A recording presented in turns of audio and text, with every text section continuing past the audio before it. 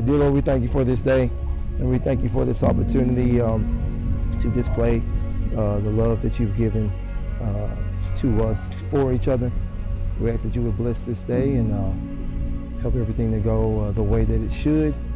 Um, Lord, we love you, and we know that we couldn't be here without you. Um, so in all that we say and that we do, uh, let it be uh, pleasing in your sight. And when these things are said and done, we'll be sure to give your name and only your name the praise and glory because you deserve it. Uh, in the name of your son Jesus we pray, amen.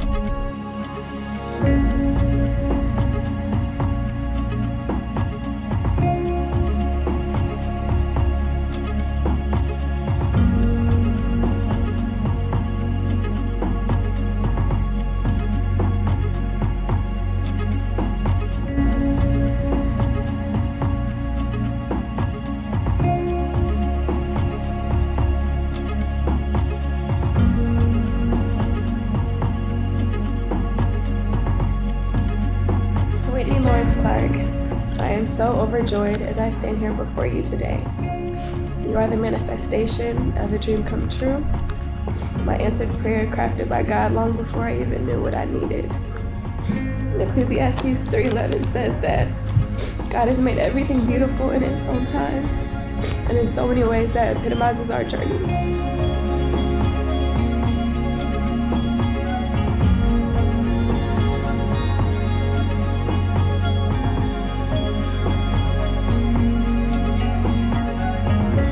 I want to make a promise to you to always uh, put you first and to be kind to you and to be forgiving and to be patient.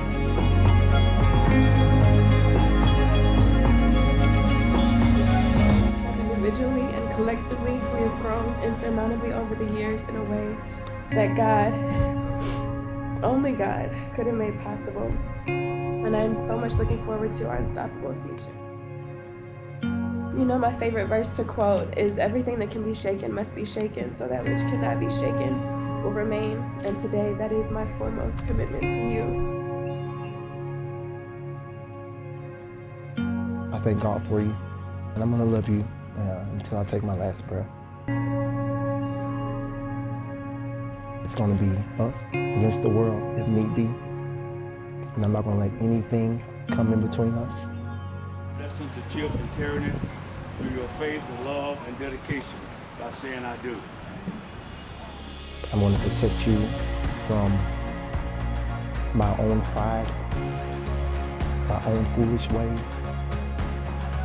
I'm going to protect you from the lustful nature that is embedded in all of us. From this day forward, I vow to remain. Through life's adversities, I vow to remain. Standing beside you, devoted to you, and steadfastly uplifting you no matter what. I vow to always cherish you, to respect you, to laugh with you, to fight beside you, to pray with you, and to build an unprecedented empire with you. I vow to pour into you just as much as I pour into myself, and to build a marriage that is not anyone else's but our own. Today, with God and through God, we honor those who came before us and answer and ensure the futures of those who will follow us by making this sacred commitment. I love today and every day forward. I vow to be yours. reminds husbands to love their wives as Christ loved the church. I'm now the privilege to hold his wife and lightly, Yes. nah, nah, nah, lightly kiss her.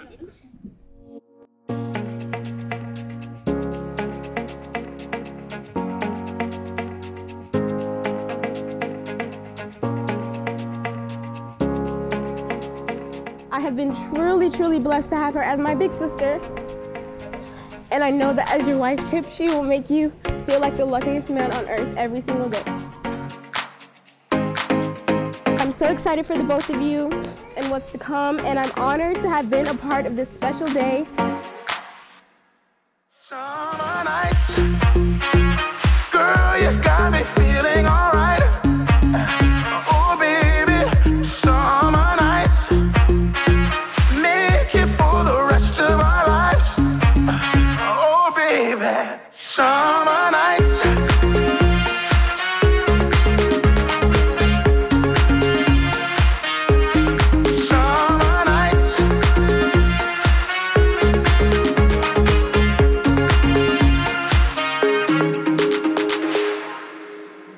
It's getting hot in here, so let's take off our clothes. Cause it feels like it's a hundred degrees.